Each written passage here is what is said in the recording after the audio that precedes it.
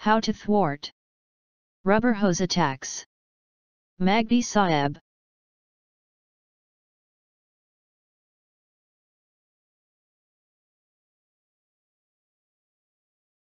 Abstract Cryptographic systems depend on the concealment of cryptographic keys shared by the participants. However, in general, systems are not able to resist coercion attacks. In these attacks, the participant is forced by the adversary to surrender the key. This type of attacks, known as rubber hose attack, is in many instances the least cost method in time and effort that are utilized to defeat cryptography. In this work, we present a procedure to thwart this kind of attacks. It is based on using the ciphertext as a lexicon to conceal the true secret message.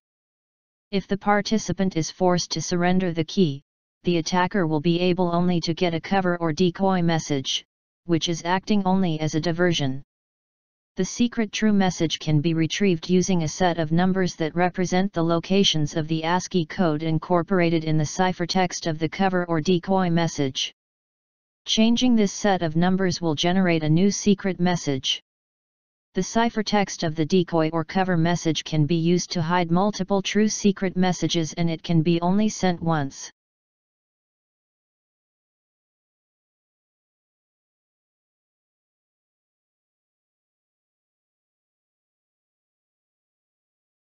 Procedure Encrypt At the sender end. Choose a relatively large cover message MC. Encrypt MC using a secure encryption algorithm such as the Chameleon Polymorphic Cipher 1 and Key KC to obtain Cipher CC. Send CC. Using a secure channel Send KC. Hide the secret message MS1 using YAEA like 2 encryption and the key KS1. Hide in step 2 means using the locations of the bits representing the secret message MS1 found in CC and starting from a random location LR that should appear at the beginning of the transmitted set of numbers representing the second encryption of the secret MS1 given by CS1. For more than one secret message MSI repeat 2 using KSI where I equals 1, 2n. Using another secure channel send the set of numbers representing MS1. Halt.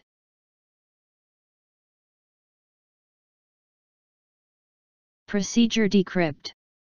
At the receiver end. 1. If rubber hose attack occurs then surrender only KC. 2. To retrieve secret message MS1, use CC and KS1. 3. Halt.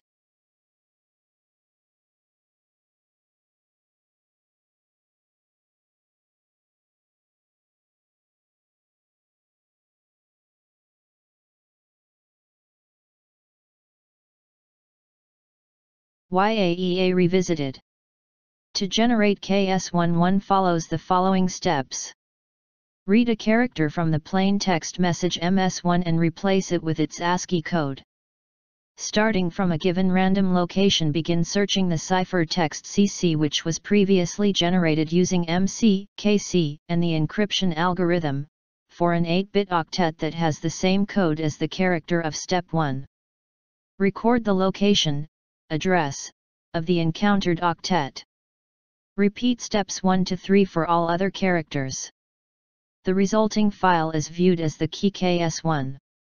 The address can be 16-bit long for a message, MC, size of 65,536 bits. If all message characters are replaced by their respective addresses then halt.